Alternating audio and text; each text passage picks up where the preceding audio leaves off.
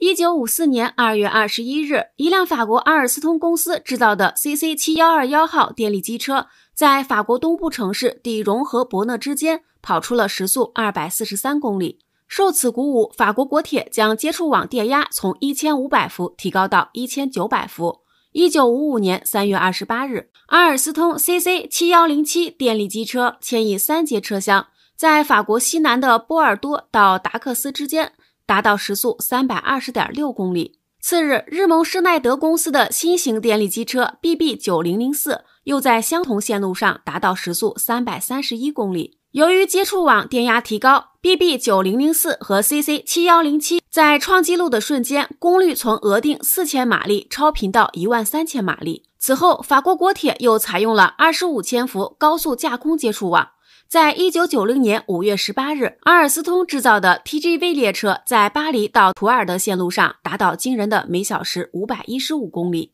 又在二零零七年四月三日下午，由 TGV 三为幺五零实验列车在巴黎东南的加固线路上创造了时速五百七十四点八公里的轮轨铁路速度世界纪录。可见，供电接触网的性能对高铁至关重要。本期我们研究几种有代表性的接触网，这将使您坐高铁时能侃侃而谈，并备受尊敬。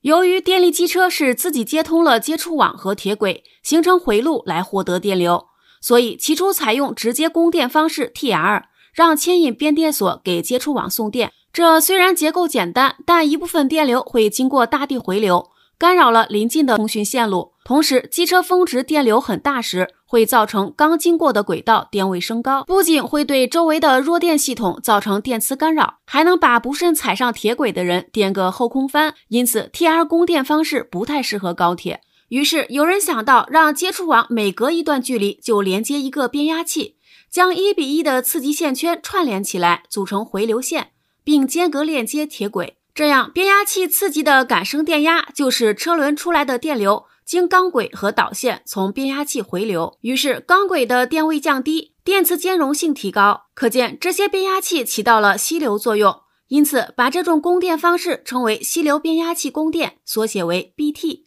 但 BT 供电导致接触网结构复杂且阻抗较大，收电工容易出现电弧，寿命堪忧。近年来已很少采用。为此，又有人想到了自偶变压器的原理，也就是牵引变电所将五十五千伏交流电送到接触网，并通过间隔安装的线圈从正馈线回流。这些线圈充当了自偶变压器的初级，然后将线圈终点都和铁轨相连，使机车前后两个半边线圈成为自偶变压器的次级，给机车并联供电。因此，供电电压就降压成了初级的二分之一，也就是二十七点五千伏。电流从车轱辘出来后，又顺铁轨跑到两边的线圈。初级的电流经过中馈线回到变电所，这样两个次级的电流就是机车的二分之一，而两个初级的电流又是次级的二分之一。所以变电所虽然输出电压倍增，但电流减半，因此功率负荷提高，送电距离延长，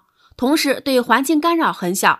这种自耦变压器供电方式缩写为 AT，而法国 TGV 正是得益于 AT 供电的大功率，才能大力出奇迹。虽然解决了接触网的问题，但牵引变电所只用了电厂发电机的一根火线，这将导致三相交流发电机转子因受力不均而损坏。为此，还要让牵引变电所交替使用三根火线，以使发电机负载尽量均衡。所以，每个变电所只供电四五十公里。为避免相邻接触网被机车前后电供短路，还要插入一段没电的百米长的分向区。一旦司机看见禁止双供的牌子，说明已接近分向区，就要单供运行，并把功率手柄回零，断开主断路器，同时切换成直流环节电压保持模式。这样惯性滑行的机车就会通过轮子反过来带动电动机发电，再通过逆变器继续给电器供电。假如新手司机手忙脚乱，